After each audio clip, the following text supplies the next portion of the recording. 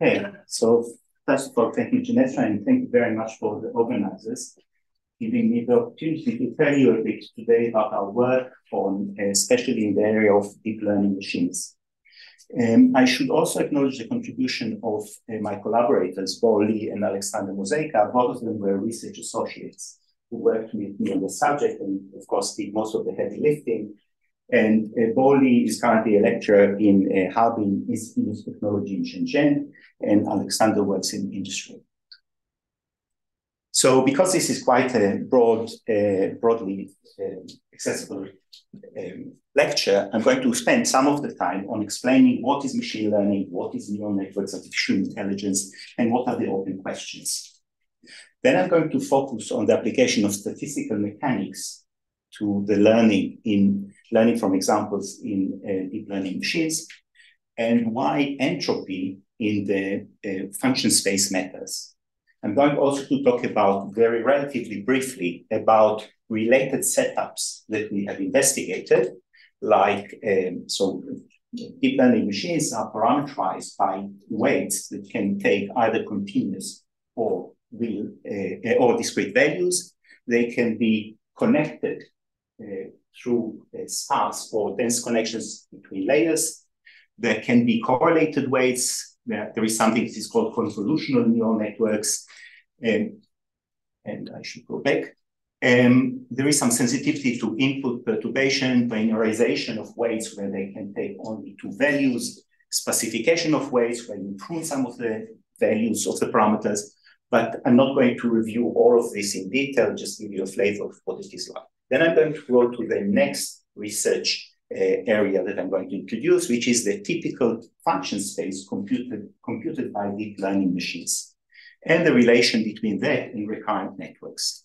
And I'll finish with some summary and future work. All of the original work related to this particular presentation is in these three papers. Sorry, David, just before you uh, continue, can I just uh, share the screen for the benefit of people in the Zoom? Just a second. All right.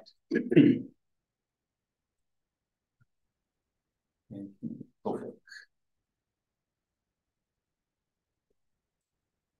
You'll notice the shortcut button very handy right there.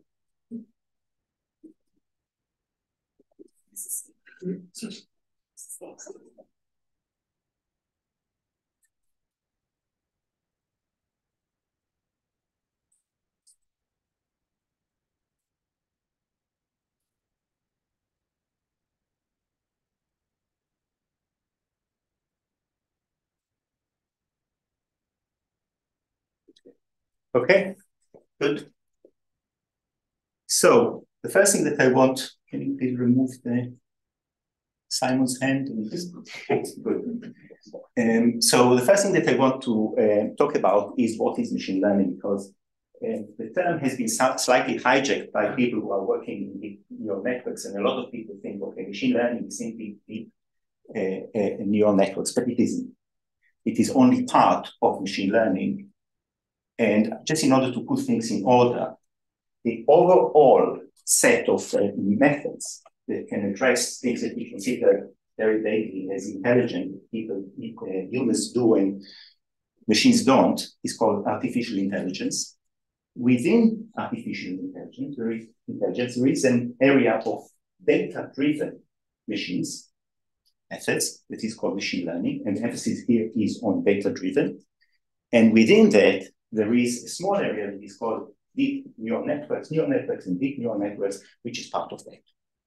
Just in order to uh, explain how small this area is, so I took this figure from the book of my ex-PhD student, David Barber, who is now a professor in UCL, and he describes all of machine learning as two separate lobes. The orange lobe is what is called supervised learning, where we have both inputs and outputs of examples, and on the basis of that, we are trying to understand what is the underlying function.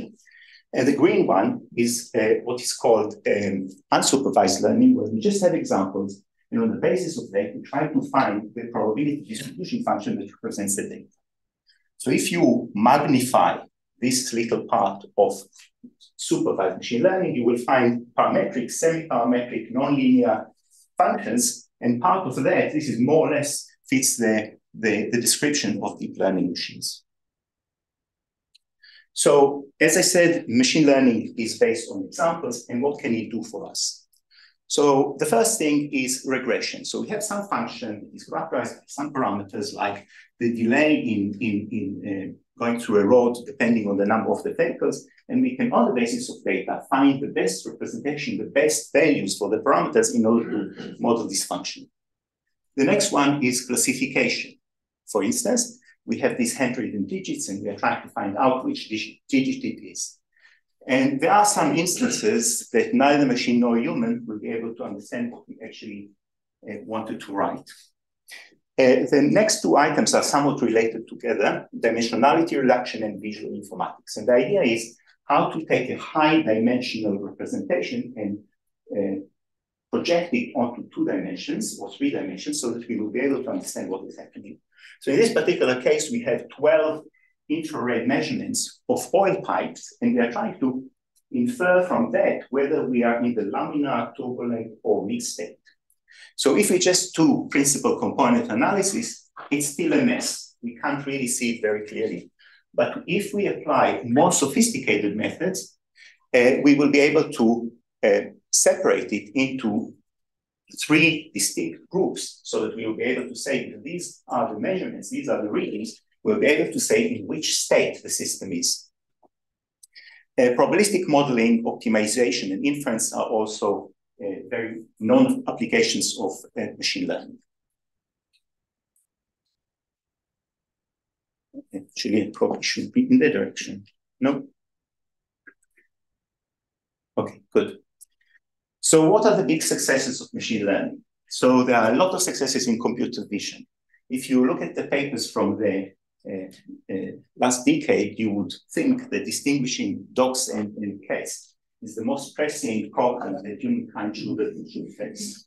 Because there are a lot of papers about trying to distinguish between images of dogs and, and cats. Uh, but actually, generally in computer vision and, and, and, um, and visualization, there is a lot of work and very successful work in by machine learning, especially by deep learning machines. In speech recognition, they've done very well. In terms of playing games, I think that uh, one of the most spectacular successes is that in 2016, uh, AlphaGo managed to uh, beat Lee Sedol, who, who, was 18 times world champion in Go. Um, um, composing music, artwork, generating fake video, and the celebrated ChatGPT. So this is actually an answer for my, one of my coursework questions the student put in, because that's what he got from ChatGPT, and he had all the confidence that this is the correct answer. Okay, so I already mentioned supervised learning, unsupervised learning. I want to explain what it is. So in supervised, we have data set D, and in supervised learning, we have inputs and outputs. So each one of these data sets represents, for instance, an image of a dog and the classification, and image of a cat and classification, and so on. And what we want to learn is the probability of y output, the underlying function, given x, the input, having seen all of these data sets D. So um, classification, regression, and prediction, all of them fall into this category of uh, supervised learning. In unsupervised learning, we simply have lots of data and we want to uh, get a good representation of the data by calculating P of X having seen the data, what is the probability of a new point X uh, that is characterized by the data. Uh, my talk will focus on supervised learning and more specifically on deep learning machines. So if deep learning machines and machine learning in general is so successful, so, so what are the real open questions? What is still unclear? So normally in neural networks, we have some input values. They are being fed to the next layer through a product with some weights. And they go through nonlinear function, these the orangey uh, like units, and then we read them at the output in normal neural networks supervised learning. And the idea is, I mean, most people naively look at it and say, okay, that's fine. So we do deep learning. That means that we add more and more layers. And it's quite easy. So what do we need to uh, worry about? So actually, if you look at VGG16, which was a few years ago, the record-breaking classification and segmentation uh, machine, you can see that uh, it's anything but simple. It includes a lot of engineering understanding and ingenuity in order to construct it. It's not that you get up in the morning and say, okay, I think that this is the number of layers that we want to put, and we want to put some heuristics, convolution, max pooling, fully connected, and all of these things. This requires a lot of work and uh, very deep engineering understanding. Uh, it's also a question, which functions do you do they represent at all? What is the of function that can be realized using deep learning machines? Now, what is called, of course, universal approximators, they can represent any function, but the typical case is something that we are more concerned about. The next thing that is an open question is how to improve training. Because um, training in most of these cases is being done using gradient descent and variance of gradient descent. Gradient descent is a method that has a lot of problems with local minima, with not being able to, uh, to, um, to um, uh, converge towards optimal solutions. Um, and next, and so we are looking also for improved training methods. The, the next question is the impact of examples on the function space. So let's say that we have a completely open function space and we introduce an example. That means we have a constraint on the function space that is usable and still adheres to this uh, mapping, to these constraints. So you can think about it uh, schematically as an area in the function space that whenever we add an example, it shrinks. So if it is deterministically, we can say, well, each time it shrinks by a certain amount, and eventually we will focus, if we introduce enough examples, we will focus on the right representation in function space. Probabilistically, it's a little bit more vague, but still you can look at the entropy of this function space uh, uh and how it shrinks uh, with time. The next two lines, and one of them is hidden, Uh, are explainability and interpretability, and what do the internal representations show. And this is extremely important because you're not going to undergo some medical procedure because the computer gave you a value of 5.6. This is not a good enough justification. You have to have a real understanding of why this is so. So if you look at the internal representations and you have a really good realization of that, you can try to find out that the input was transformed into some sort of features, which combine transform to other features, which eventually give you something that is meaningful. So you will be able to explain to the investor, to the patient, to someone who depends on this critical decision making, why this is the situation. So this is uh, explainability and interpretability, and it hinges on the internal representations. Okay, I don't know. Where should I point it to?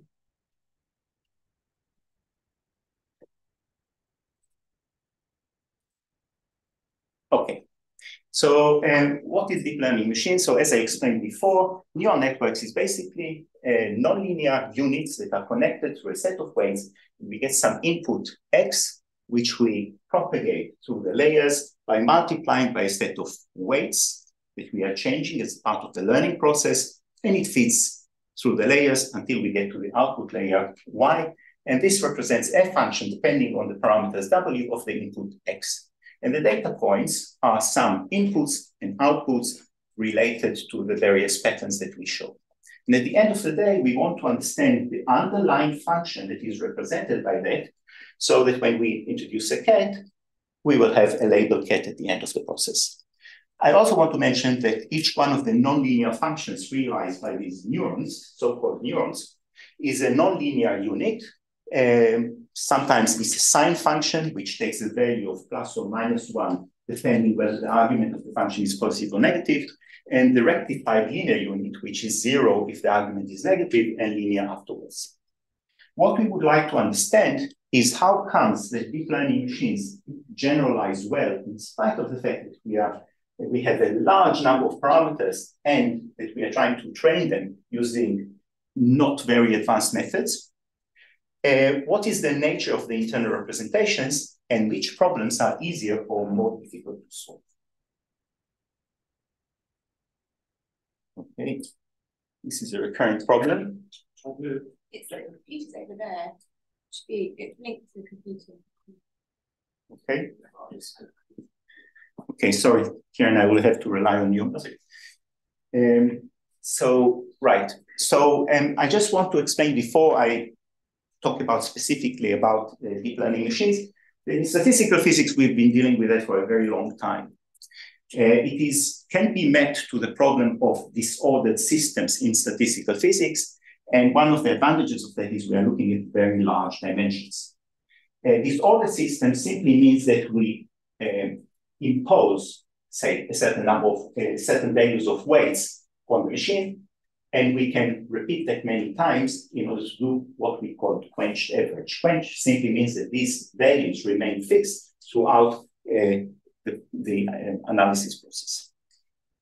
Uh, the, the fact that they are infinite dimensional is very good because it enables us to concentrate the probabilistic mass of the parameters of interest in such a way that we can deal only with the means rather than full probability distribution for each one of them.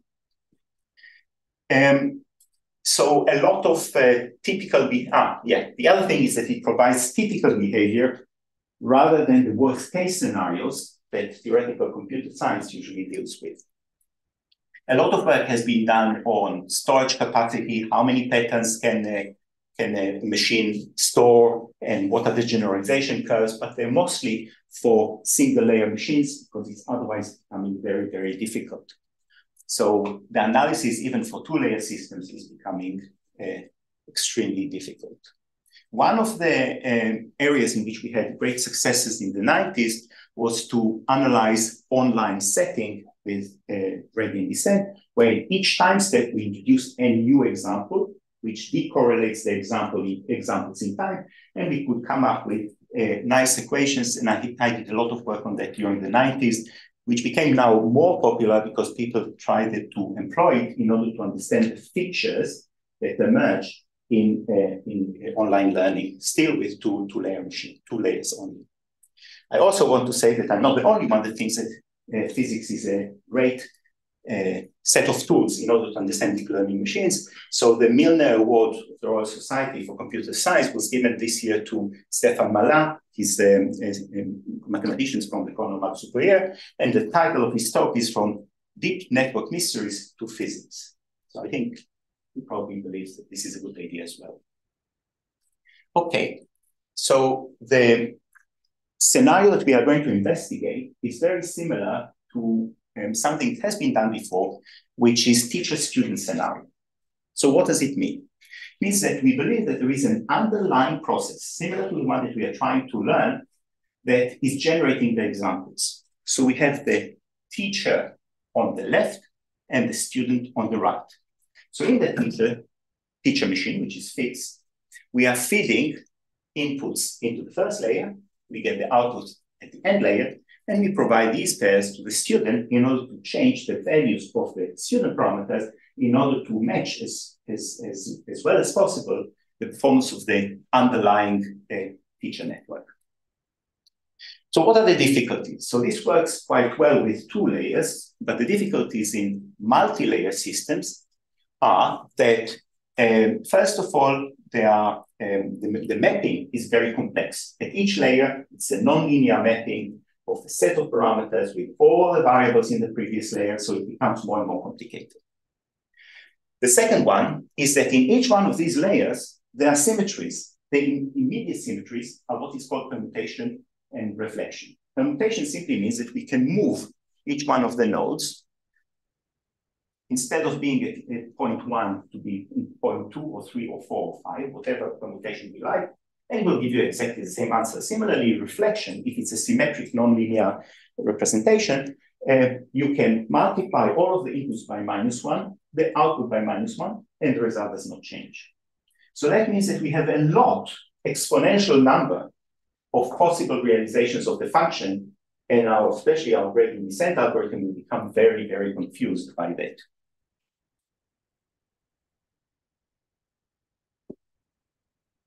Okay. Right. So this is the, the background for my first um, the, the first research work that I'm going to talk about. And the point is as follows. So what we want is to, um, to see if we have a reference, the underlying, um, um, the underlying machine, how many functions do we have that represent a good approximation to this function? Why does that matter? Because in reality, the data is noisy, the training methods are suboptimal.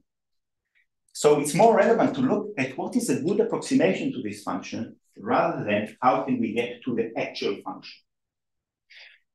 Um, and the conjecture is that the entropy or log volume of functions at some error distance from the underlying reference function is what we are after. We would like to have many of those so that it will be easier to find a good approximation. People have tried to do that, by the way, uh, from the Turin group uh, of uh, Riccardo Zecchina, Carlo Baldassi, and others. We're trying to do that as an algorithm by incorporating entropy on top of the cost uh, in, in, in uh, the gradient descent uh, algorithm. But we come from a different direction. So you can think about it, um, the figure B on, on the right, as um, as a function or set of functions in parameter space. Parameter space is a space of all weights that are connecting the different layers. And if we change them by a little bit, there is a possibility that we will get an almost equally correct result, or that if we change them by a little bit, we already get something horribly wrong. So intuitively, I think that it's quite clear that if we fall in, uh, in, in, onto a function in this area, we are quite okay. We will be able to throw something at it and it will fall in the right place and we will get a good approximation. Well, now we can map that onto the function space, and this is the space that we are interested in. Um, so in the case where we have a lot of almost correct functions, we can say that many different functions with a small error will be there. Otherwise, we are going to have real difficulty in getting a function that is Uh, uh, close to the correct to the reference function that we are after.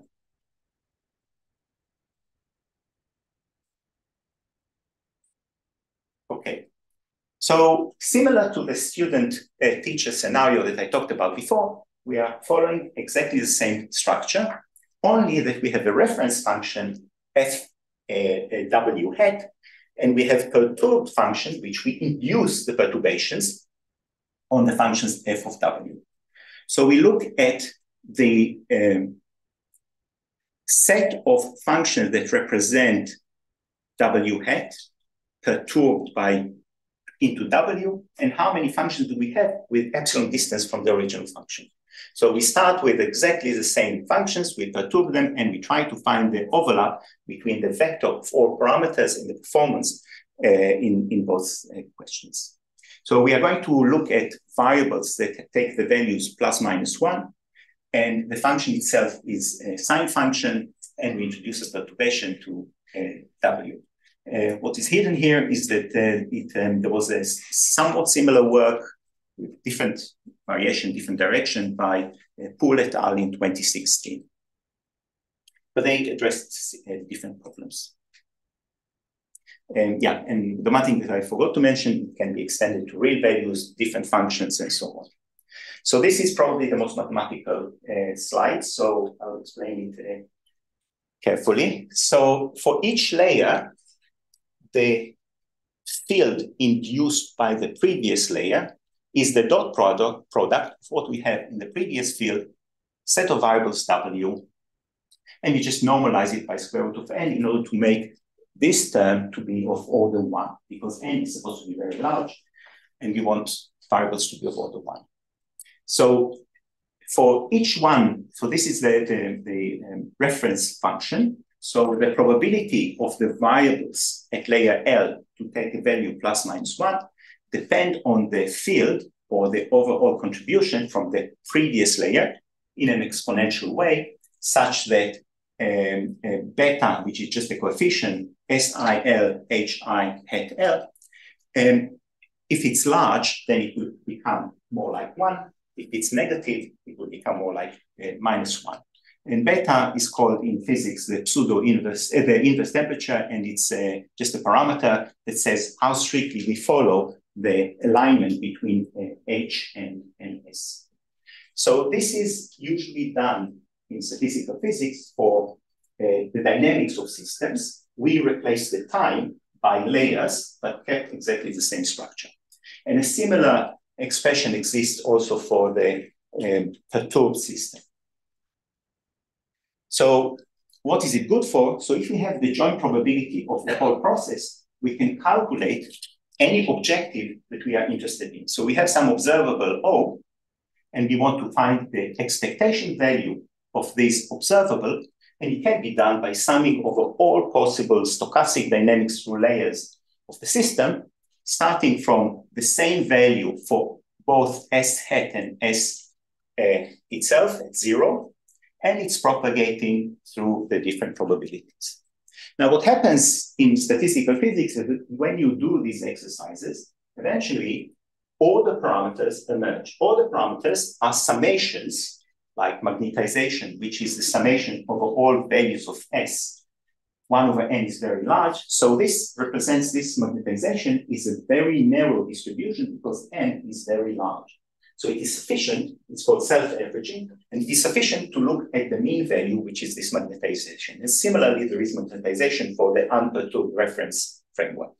And there is another variable, which is the overlap between the two representation, each one of the layers. So these are the main tools that we will be using in order to analyze the system. Um, um so what it helps us with is that we can replace the um, this simple representation that I talked about before by a representation that is based only on the macroscopic order parameter, the self-averaging properties. Um, in order to do that, to calculate the magnetization and overlap, we employ a method well known from many different areas in physics, which is generating functional or characteristic function we introduce an exponent uh, to the power of psi s, psi hat s hat psi s. And by differentiating whatever expression we have here, which is average over the whole trajectory, whenever we differentiate it with respect to psi or psi hat and take the psi value to zero, we simply bring down s or s, s hat uh, into the um, uh, average brackets, and we get the expectation value of either the magnetization expectation of S or the, um, the overlap. Um, this is not enough because this is for a given set of uh, reference functions weights uh, W hat. So what we want is to look at all possible representation taken from some uh, probability distribution, say Gaussian, and this is represented by this uh, uh, over bar, which says let's whatever we got from, from the generating function, let's average that over all possible reference functions, reference networks. This is called quenched average. And at the end of the day, what happens is that we can represent it as an exponential dominated by some values of the overlaps. And this is what we are interested in and what we are doing. Next slide, please. Okay, so let's go back. So we said that uh, one of the other parameters that we were looking at was the overlap between the functions represented by the reference machine and the perturbed machine. And um, if we look at the um, expected error, which is the Hamming distance between the variables of S and S hat, averaged over time, uh, layers, averaged over uh, the, what is called the quench average different representation, it's simply one half of one minus QL, just to explain what it means. So if QL, the overlap between the two uh, systems is uh, exactly one, they're identical, the error will be zero. If they are completely orthogonal to one another, it's going to be half, which is around this. So in between the two, we have a measure of how, what is the alignment between the two systems and the performance of the two systems. And this maps again to the same figure that I had before. Uh, next slide.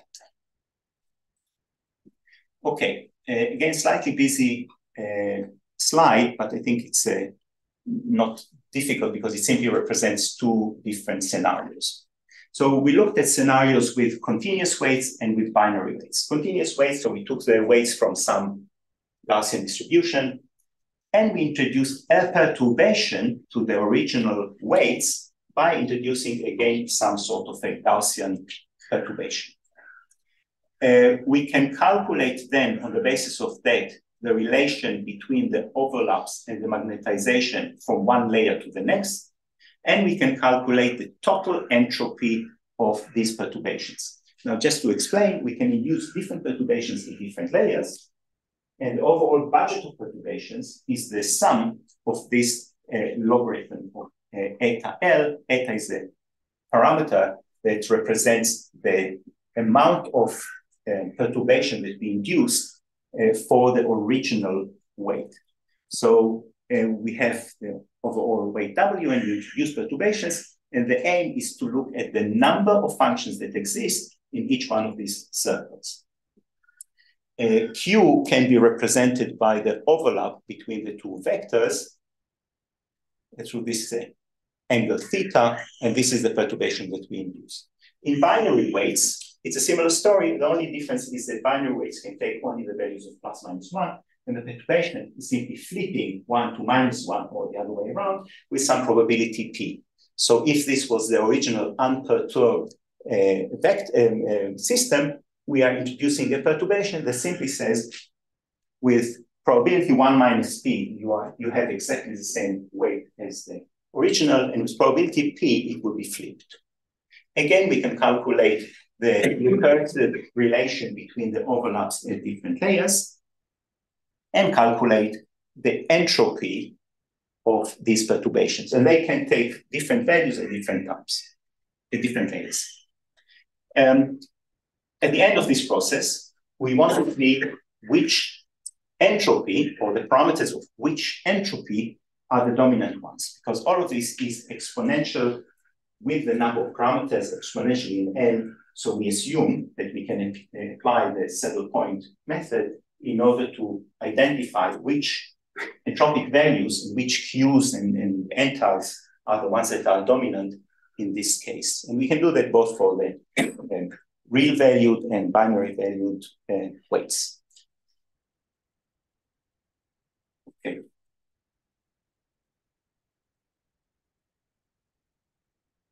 Okay, so uh, before I go to the results themselves, I want to pictorially explain what is happening. So the results, what the results show is that if W is exactly the same as W hat, there is full alignment. Let's say that we have three layer system with three different sets vectors of weights. So all of them are exactly aligned because it's the same function, exactly aligned with the unperturbed system. If we start introducing perturbations on a specific envelope of, uh, of errors, uh, 0.1, the first ones to get the perturbations will be the final layer. So first it will be the final layer itself, then it will be, as we increase the error, it will be shared by the first and second, and eventually, of course, it's, it's a random guess, it's completely orthogonal to the, to, to the perturbed, unperturbed functions. And this is how it is manifests itself in the values of etas, the perturbation parameter in the continuous and binary weight uh, cases.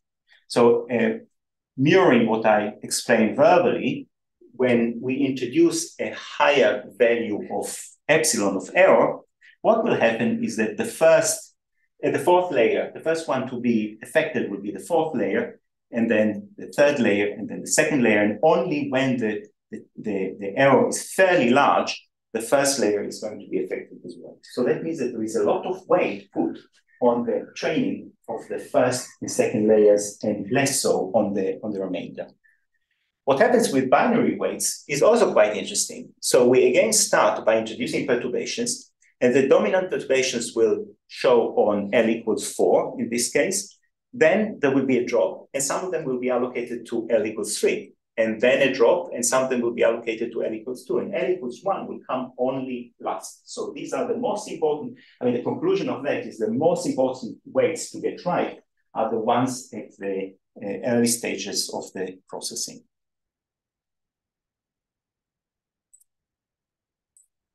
Okay. Uh, and another very important uh, element is in training is the dependence on examples. Because what examples um, uh, do, they introduce a constraint that restricts the weights and the functions and the, and the parameters that we can allow. So um, just as an example, let's say that this is the uh, number of functions, the volume of functions that can represent the, um, the um, uh, unperturbed, the original, uh, the reference function. And as epsilon increases, as the error increases, this volume increases as well. What happens when we introduce a constraint is that some of these of this volume is irrelevant anymore because it is inconsistent with the uh, uh, with the, um, the example that we've given. So that means that it is multiplied, the volume is multiplied by 1 minus epsilon because some of them, the epsilon ones, are not going to adhere to the same uh, constraint that is introduced by the example. And as we increase the number of examples, this is called annealed theory of learning. We decrease the volume. And the higher the epsilon is, the decrease in volume is more dramatic because there are more functions that will not be consistent with the example. Um, so what we try to do, um, yeah, I'll just mention one more thing, that the number of free of examples should scale with the number of free parameters. And in this case, the number of free parameters is L, the number of layers, n squared if it's um, completely uh, fully connected. So we need a lot of examples in order to, to train the network. Our hope was that with the introduction of more layers, the decay will be faster, but we got exactly the wrong results. And I think that we, there are three reasons for that. The first one, the analysis is correct only for small epsilon or large number of examples. The second one is that we use the sign activation function. Now, as we will see later, the sign activation function keeps many, many possible functions open the possibility of uh, realizing many, many different functions. And therefore, it is not decreasing exponentially. The volume does not decrease exponentially with the number of examples.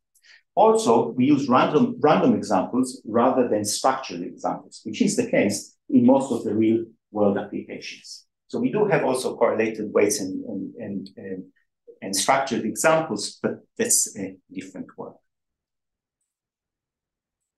So an interim summary so in this part of the work, what we did was to look at, uh, at dense architectures, so densely connected uh, layers and random networks and so on. But we've also extended the same kind of analysis to sparse architectures, where elements in each layer are connected only to a small order one elements from the previous layer. Um, in this case, we also set all of the weights to be one, and the disorder is the, in the topology, the connection between different layers, and the variables here become Boolean gates instead. Uh, we also looked at weight dilution and discretization, so how the accuracy of uh, deep learning machines is being uh, eroded by replacing the continuous weights by plus minus one weights, and or simply pruning some of the weights randomly. And we did that for the ReLU and sign function, and we looked at continuous variable values. Again, ReLU, this type of function. We looked at convolutional neural networks and correlated weights and input sensitivity and a lot of other things. And if you're really keen, you can read it in the papers. But now I'm going to move to the next uh, item on the list. If Karen will let me. Yeah, thank you. So, and and this is about what actually is the distribution of function that is represented by deep learning machines. So as an introduction to that, let's consider the case in which we have only two inputs.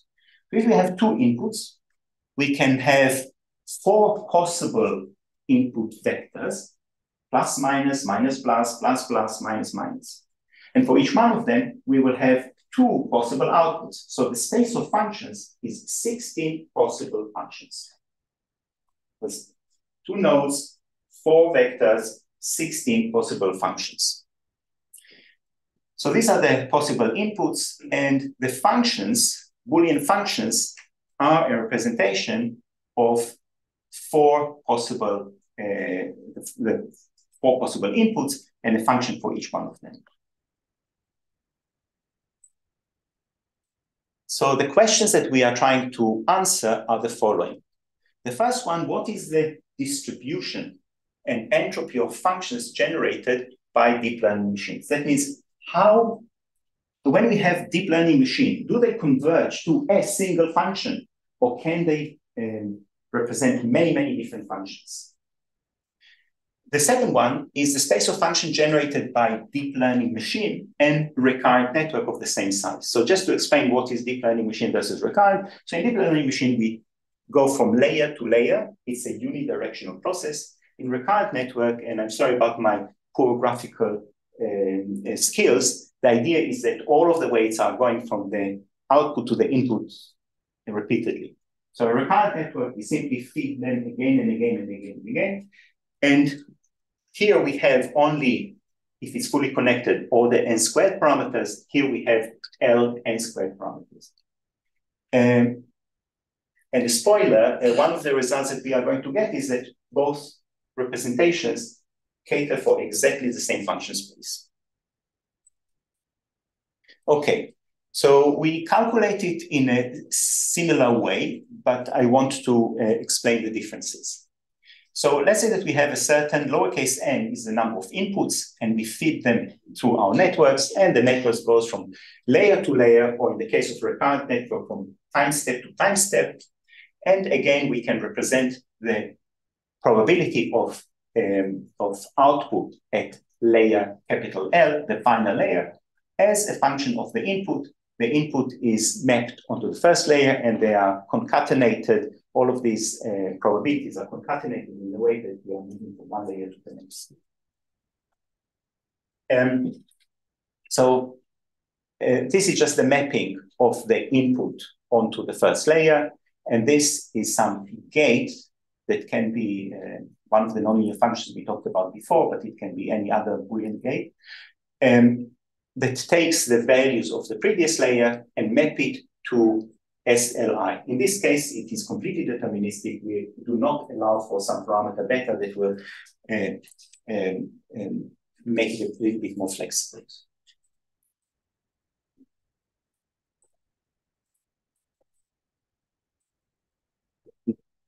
Okay. So I was talking about a single input. However, let's consider all possible inputs. So if we have gamma equals 1, gamma equals 2, gamma equals 2 to the power of n, we've covered all possible inputs. So that means that if we have the same topologies in all of these um, deep learning machines, at the end, we will have a full mapping of the function. Because for any input, we will simply go choose the right one and go to the function that represents the output. So the weights and the topology and the architecture are exactly the same for all of these. But the, for different gamma values, for different inputs, they will manifest themselves in a different way through the internal representations. And this is what we are trying to follow. Next one, please.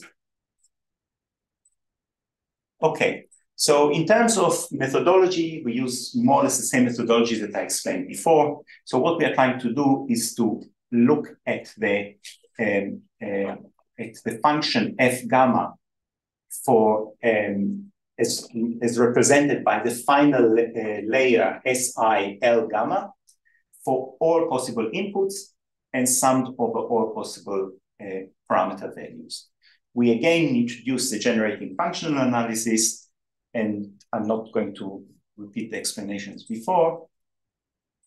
But at the end of the day, we find that uh, we average also on the weight disorder. And at the end of the day, we get an overlap Q between L, L prime, two layers, gamma, gamma prime between two patterns. And this is going to be the overlap that will be the other parameter that dominates the, the performance of the system. And we will find what are the optimal values of the overlaps, Q, Q, whatever, uh, through saddle points, but this is not technical. So one of the interesting things that we have realized is that when we look at uh, the overlap Q, L, L prime, gamma, gamma prime. Just to remind you what this overlap means, it means uh, the two vectors are what is the angle between them? Are they fully aligned? Are they completely orthogonal? So we can calculate that by looking at the value of the gate, which can be either Boolean gate or, or, or, or ReLU or whatever we have before, given the Gaussian distribution of the fields H for all of these L, L prime, gamma, gamma prime, with a certain, with a zero uh, mean and covariance matrix that is just parallel to this uh, Q as well. And if we do that for layer dependent and recurrent networks, now, this is a very small, small uh, scale experiment because it's only for uh, three layers and uh, four elements, four different inputs. Uh, we can see that the structures are very, very similar to one another. And because the whole calculation is for the deep learning machines, these are not exactly zero for the recurrent network, but asymptotically they will be. So quite a, a similar structure for both. Um, so when we look at um, the architectures of the neural networks and, and uh, layer networks and um, recurrent network, they have exactly the same structure of what is the probability of functions at layer capital L, given the whole process that we have analyzed. We can also do this. So this was for densely connected systems where all of the variables are connected between successive layers. But even if we choose only uh, k, that can be three, four, five, whatever we want, between connections between elements, there is a similar structure that we can also calculate in the same way. And both of them are identical for recurrent network and for deep learning machines. Okay, just to convince ourselves that it's not uh, something, um, you know, yeah, good. That uh, we are doing, this is really a real, real um, um, phenomena. So we took um, figures from the MNIST database. The MNIST database is that of handwritten digits, and uh, we try to classify them correctly using the two architectures. So we took a recurrent network which has the same weights at each time step, and layered network, which has different weights between uh, layers. And we trained them on trying to identify this. And this is going from with, different number of hidden layers. And this is the test accuracy. Uh, we did not use a sign, but hyperbolic tangent, which is a similar function that behaves like sign, but it's a continuous function and therefore differentiable and therefore can be used using gradient descent. But the, the, the, idea is exactly the same. And as you can see, ignoring the first two layers because they're just mapping the inputs into the layers in the current, you can see that the recurrent, uh, recurrent hyperbolic tangent and the layered dependent hyperbolic uh, tangent results are quite similar. And the same with uh, the ReLU based function. Now, I should say, uh, this is quite um, a good result. They are not identical because it is limited number of uh, um, elements, it, uh, the data is actually correlated and not uncorrelated like what we considered in all of our calculations. Um, so the fact that they are not falling exactly on top of one another is not a big deal. It's a relatively good result showing that recurrent and layer networks have the same um, representation. Also, the training, of course, is, uh, is suboptimal. Um, a visual representation of, um, of what is going on can be done also in this very simple case, where we have two inputs which we map onto the layers, and we, in this case, we use Boolean gates. So we have two Boolean gates, majority three and end. And so as I said before, there are two inputs, therefore four input vectors, therefore 16 functions that are represented by these squares. And the size of the circle within the, that square says what is the probability of this function being implemented after 0, 1, 2, 3 layers. So majority 3 is a function that is fairly balanced. It says simply we have three inputs, and out of these three inputs, if more, two or more are 1, it will be 1. If two or more are minus 1, it will be minus 1. This is simply the majority. So it's a balanced one. On the other hand, AND is an entropy killing machine because out of the four different states, three of them are going to be zero. So that means that the diversity of functions is very quickly restricted, exponentially restricted. And this manifests itself in these figures. If you can see after three layers, the majority, being a relatively balanced function, will have almost the same probability for each one of the representations of functions. On the other hand, the AND will be dominated by one function out of the 16. And this one is actually zero, because it will decrease the entropy of functions very quickly towards zero. And, and further experiments of the entropy for functions with sign and ReLU and different number of inputs and majority and end for different number of inputs um, um, support our uh, understanding. Because as you can see, for the sign function, irrespective of the number of inputs, the entropy remains very high. That means that they can represent many different examples as we progress in layers or in time. And the same thing for ReLU is going to, is going to decay very quickly, actually exponentially, because this is a logarithm of the volume. The volume increases exponentially as we increase time or layers.